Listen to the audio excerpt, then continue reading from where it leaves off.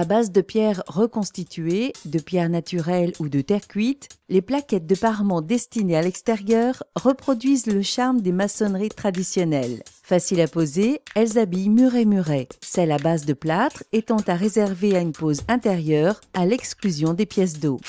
Vous aurez besoin de tasseaux, de chevilles traversantes, d'un marteau, des plaquettes de parement de votre choix, de colle en pâte ou en poudre, selon la nature du support, et en cas de pose sans joint, de produits de traitement hydrofuge et éventuellement de produits pour joints.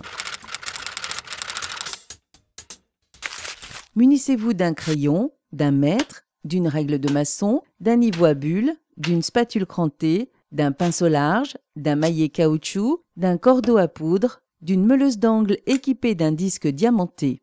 En cas de joint, ajoutez des cales de 10 à 12 mm ou des petits segments de bois, un fer à joint, une truelle langue de chat, une taloche, une auge, une éponge, un seau, un mélangeur, une balayette à poils souple, un petit pinceau ou une poche à douille.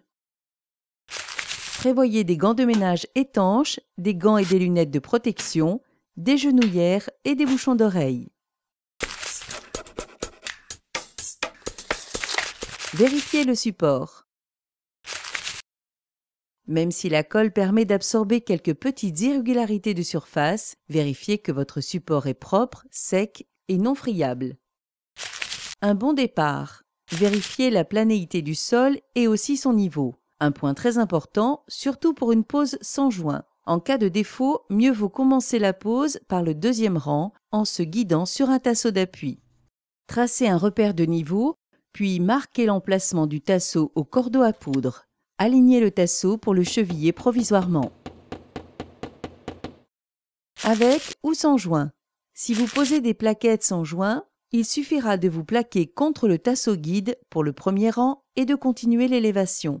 Établissez quand même un tracé horizontal tous les trois rangs, juste pour délimiter la zone d'encollage. Avec des plaquettes de forme régulière, comme les briquettes de terre cuite, la régularité du joint est assurée par les cales d'épaisseur à raison de deux par élément. Contrôlez quand même le niveau horizontal tous les deux rangs. Quant aux plaquettes de pierre reconstituées, de forme irrégulière, séparées aussi par des cales d'épaisseur, un tracé tous les trois rangs tenant compte de l'épaisseur des joints suffira. Mesurez la superficie à couvrir et ajoutez 10% de plus pour compenser les chutes des découpes.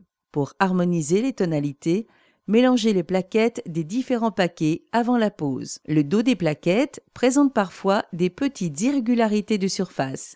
Pour les éliminer, frottez avec une râpe ou un grattoir. Préparez votre ciment-colle en poudre, adapté à la nature du support selon les préconisations du fabricant. De plus, la formule en poudre est préférable pour une pose sans joint. Si vous utilisez un produit prêt à l'emploi, Brassez-le quelques instants dans le seau pour le rendre homogène. Pour habiller un muret de soutènement dont l'étanchéité n'est pas garantie, il est préférable d'employer un ciment-colle en poudre plutôt qu'une colle en pâte prête à l'emploi. Avec joint. Ces plaquettes en béton reprennent l'esprit de l'appareillage irrégulier des pierres apparentes. La pose commence directement près du sol. Garnissez de colle une zone réduite pour commencer et étalez aussitôt à la spatule crantée. Garnissez ensuite le dos d'une plaquette d'une manière uniforme. Les fabricants fournissent le plus souvent des petits segments de bois pour maintenir l'écart entre les plaquettes afin d'éviter qu'elles ne glissent vers le bas. Pour des plaquettes à joints décalés, une rangée sur deux commence avec une plaquette coupée en deux. Sans joint. Garnissez de colle une portion équivalente à 3 ou 4 plaquettes pour commencer et étalez aussitôt la spatule crantée. Garnissez ensuite le dos d'une plaquette d'une manière uniforme en évitant de charger sa périphérie. Appliquez la plaquette contre le mur encollé en appuyant le bas contre le tasseau. Imprimez de légers mouvements oscillants tout en pressant. Tapotez ensuite avec un maillet en caoutchouc pour parfaire l'adhérence.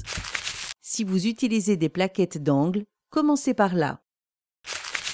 Collez trois ou quatre plaquettes le long du tasseau, puis poursuivez sur le rang du dessus. Même avec une pose bord à bord et sans joint, vérifiez de temps en temps l'horizontalité au niveau à bulle.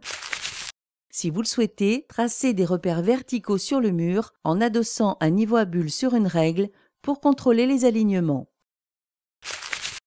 Éliminez sans attendre la moindre trace de colle sur les parements en grattant délicatement à l'éponge humide fréquemment rincée. En fin de rangée, placez la plaquette à rectifier contre le mur et repérez la ligne de coupe par rapport au dernier élément posé. Pour plus de discrétion, le bord tranché sera ensuite placé côté mur. À défaut de coupe carreau à eau, la meuleuse d'angle équipée d'un disque diamanté permet également de trancher les plaquettes en pierre naturelle. Placez la plaquette contre une planchette martyre et guidez l'outil en progressant lentement. Une carlette manuelle peut aussi être utilisée pour des plaquettes ne dépassant pas 10 mm d'épaisseur.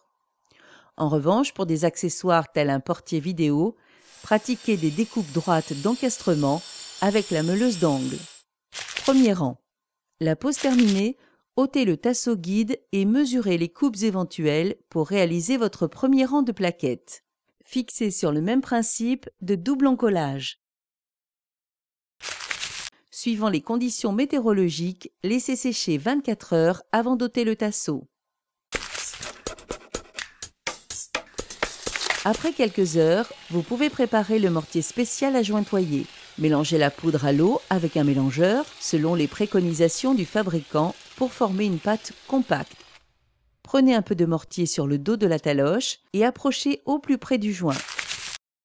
Pour les joints verticaux, vous pouvez couper un fer à joint en deux afin que celui-ci épouse mieux les joints et qu'il soit de même longueur. Cela vous facilitera l'application.